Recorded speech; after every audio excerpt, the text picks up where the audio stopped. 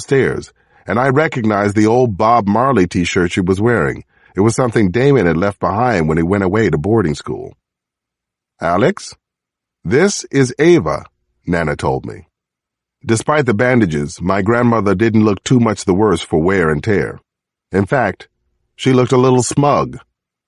Hi, Ava, I said. Hello. Ava didn't look up and kept eating with her elbows jutted out on either side, like she expected someone to take her plate away at any second. Jannie and Ali both sat up tall like a couple of meerkats, watching to see what I'd do next. I wasn't quite sure myself. Nana, could I speak with you in the living room? I finally said. I'm an old woman, Alex. Now, please? I held the door for her and we walked to the far end of the house before either of us spoke. Then she jumped in first. The girl's got nowhere to go, she said. She just needs a place to sleep where she doesn't have to keep one eye open all the time. I ran my hand over my head, trying to gather some patience at the end of this very long day. That's what Child and Family Services is for, I said. Why? So they can put her in the warehouse, Nana said, and pointed up at me. That's right. I know what they call it down at the police department, so don't even try that on me, mister. I couldn't argue that point. The temporary holding facility where Ava would probably land was, in fact, pretty bleak, and it was called the warehouse. The poor thing's been on the street for a month, Nana added. So she says. Look at her. She's no bigger than my little finger. I don't need a polygraph to tell me no one's been looking after that child. Do you? Bree had wandered out behind us. She'd been playing Switzerland so far, but she spoke up now. For what it's worth, Alex, her story checks out. The mother's name she gave us is Olivia Williams. There was an Olivia Williams who died of a heroin overdose, DOA, at Washington Hospital on August 10th. Also, Kramer Middle School had an Ava Williams enrolled last year, but she hasn't shown up for seventh grade. Nana gave me a told you so kind of glare. I could feel myself losing ground already. What about the father? I said. Other family? You check any of that? Nothing on the school records. I think she really is alone, Bree said. Damon's room is just sitting empty up there. Besides, I already put clean sheets on the bed, Nana said. Like that settled everything. The fact that I owned this house didn't seem to count for much right now. Not enough, anyway. All right, I said. One night, but first thing tomorrow, Bree's taking her over to CFS. We'll see, Nana said, and I'm putting a lock on Damon's door. You most certainly are not, she told me. You can sleep out in the hall if you'd like. Now, if you'll excuse me, we've got a guest in the kitchen. I looked at Bree again, but her expression said it all. If you can't budge, Nana, how do you expect me to? One night, I said again. We'll see, Nana said. Chapter 48 Bree took a little nap after dinner before she went to her shift at work. I snuggled with her until she was asleep, then I went up in the attic to work some myself. I must have fallen asleep at my desk, and when I woke up, Bree was gone, and everyone else was sleeping. I checked on Ava and she was out for the count. Then I went to bed. Alone. I hated leaving everything so undone the next morning, but it wasn't exactly a call-in sick kind of day. I got up at 4.30 and made it out to Langley by 6. The morning was a beauty, a burst of burnt orange on the horizon, but I wasn't going to see much more of it, was I? The truth was, I didn't want to be anchored at LX1. Cops are creatures of the field. It's where we do our best work. I wanted to be out there chasing leads and working the case at street level. That's where I might actually do some good. Then, about halfway through the day, I got my wish. Kind of. It was just after one o'clock. Peter Lindley came out of his makeshift office at the command center and waved to get my attention. Half a dozen agents and supervisors were coming out behind him, and he motioned me over. I was next. Mahoney caught my eye as I crossed the floor. I shrugged back. I had no idea what this was about. He gave me the old pinky and thumb to his ear. Call me later, and I nodded that I would. Ned will never admit it, but he hates to be left out of anything. He's also a lot more ambitious than people might think. Come in, Lindley told me, and close the door behind you, please. The space was normally a conference room, but most of the chairs had been taken out. Lindley's desk was just an eight-foot folding table in the middle of the room. He had a triple monitor set up just like everyone else and half a dozen phones. One of those was in his hand right now. He was also holding a small yellow post-it note. As soon as I have you, I'm supposed to call Nina Friedman at the White House, he said, wagging the post-it. Do you know who that is? No idea, I said. Should I? Regina Coyle's deputy chief of staff, Lindley said. What's going on, Alex? Why is the First Lady's office looking for you? Is there something I need to know about? I couldn't tell if Lindley was pissed off, over-caffeinated, or just trying to be thorough. Maybe he didn't like feeling left out, the same as Ned Mahoney. Peter, I don't know what to tell you, I said. I'm guessing this must have something to do with the kidnapping. Why don't you give that number a call and we'll both find out? He glared at me over the top of his half-frames like I was being coy or something, but he went ahead and dialed the number. As soon as I took the phone from him, a woman's voice was there. Detective Cross? Speaking, I said. How can I help, Miss Friedman? I'm calling from the office of the First Lady here in the East Wing, she said unnecessarily. There was a rote kind of formality to her voice. Are you available for a meeting with Mrs. Coyle? Even the question was a formality. Was I available for a meeting with the First Lady of the United States? Of course, I said. I could be there in about 45 minutes. Very good. I'll have your name at the East Appointment Gate, she said crisply. I can meet you at the top of the drive, under the porte cochere and out of sight of the press, if I was reading her correctly. This meeting wasn't a secret, but discretion seemed to be the M.O.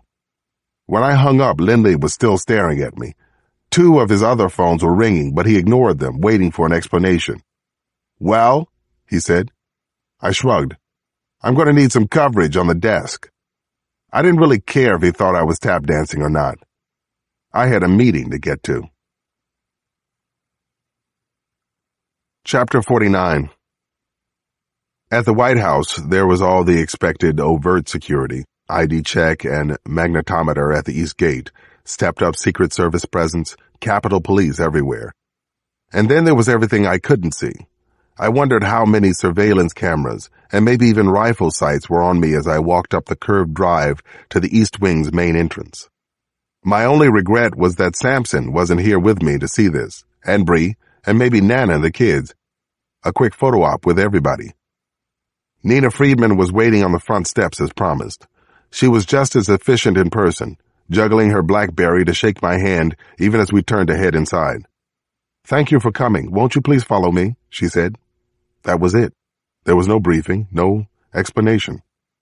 Once I cleared the security desk and another magnetometer in the entry hall, I expected to be taken to a conference room or maybe up to the First Lady's offices on the second floor. But it quickly became clear that wasn't going to happen. Ms. Freeman walked me straight through the East Wing lobby and out the other side. I kept my mouth shut as we passed from one building to the next, down the long east colonnade with its view of the Kennedy Garden and into the ground floor of the White House itself. It made sense now that I thought about it. Secret Service was probably restricting Mrs. Coyle's movement as much as possible, her office time would have been kept to a minimum at best. They stopped us for another ID check at the base of the main stairs, then again at the first floor landing before we could continue up to the residence. By the time we got to the broad center hall on the second floor, the agents seemed to be expecting us. They only nodded at Ms. Friedman as we passed. The museum quality of the lower levels had given way to something more like a home up here. There was plush blue and gold carpeting, a baby grand piano, several built-in bookcases with hardbacks that looked like someone had actually read them. I'm not so jaded that I wasn't tripping out a little on where I was either. It was impossible to be there and not think about all the presidents and first ladies who had walked up and down this very hall for the last 200 years, all the way back to John Adams. I guess the word for what I felt is humbled. The hall narrowed and then narrowed again through a deep arch that opened to a sunny sitting room on the other side.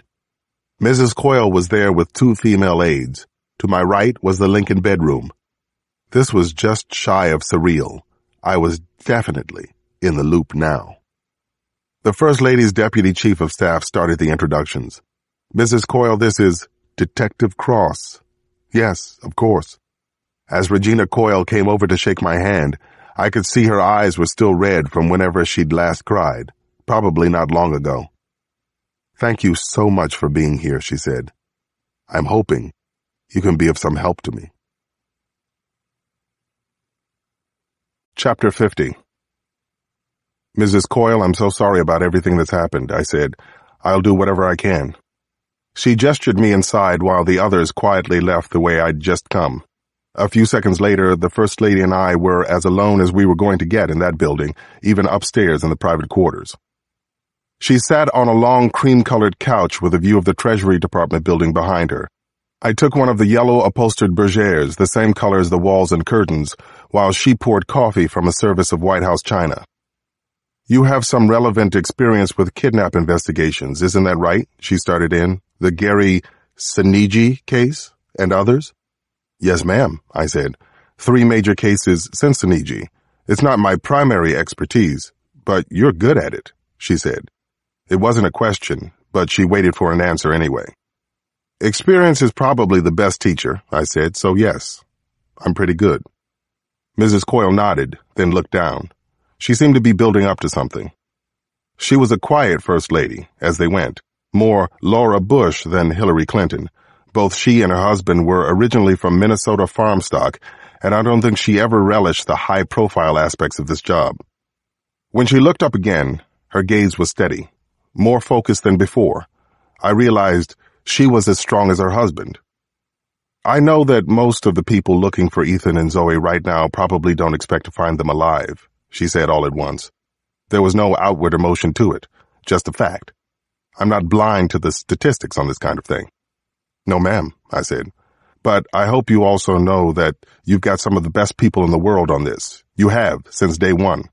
Of course, she said, and fell back into another silence. There was obviously something else. I did what comes naturally to me and waited quietly for her to go on. Then she said, your son was held hostage for several months, wasn't he, around the time he was born? That one, I didn't see coming at all. Mrs. Coyle had done her homework, and then some. It was true. Ali's mother, Christine, had been kidnapped while she was still pregnant with him. The memory of it cut right through me. Christine and I had never recovered from the incident and its trauma. I nodded. It was the worst year of my life, I said. Ali's mother's as well. And how is your son today? she asked. He's great, actually, I said. A little bigger every day. I'm very proud of him. So you understand, she said. The look on her face was as close to a smile as anything I'd seen, just a softening around her eyes, really. And of course, I did understand now. If it was possible for me to get my beautiful son back, then it was possible for her, too, for Ethan and Zoe to be returned to her somehow. As Mrs. Coyle went on, she seemed to choose her words very carefully. Detective Cross, I would never presume to tell you how to do your job, she said. But if you were to call your supervisor after this meeting and express an interest in getting more involved with Ethan and Zoe's case, I can guarantee you that the answer would be yes. Whatever assignment you wanted, however you wanted to do your work, with a pretty free reign. This was the Regina Coyle I didn't know. The politician's wife. I don't mean that in a bad way. What I really saw was a mother living through her own worst nightmare and doing whatever she could to save her children. I set down my cup and took out a pen and a small pad from my jacket pocket. May I? I asked. Of course, she told me. It was time to start from square one with the president's wife. Tell me about Ethan and Zoe. What are your children like?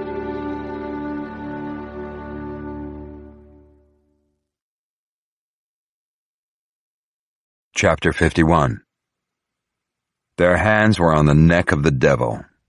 Now it was time to tighten their grip. Hala sat cross-legged with the laptop on the bed. She dragged several of the files she'd been compiling to an encrypted disk image on her desktop and reviewed its contents one more time. Once the disk was finished, only the intended recipient would be able to open it. Every family member assigned to Washington had his or her own unique 16-digit alphanumeric string. Hala's code had been what allowed her to access the disks she and Tariq had received up to this point. While she worked, she kept the local news playing on the television. There was a constant stream these days, frightened faces, traffic warnings, and of course endless speculation about what might be coming up next. It was electrifying for Hala to be the one with the answer to that question. Uncle had entrusted her and Tariq with several key targets. Now it was up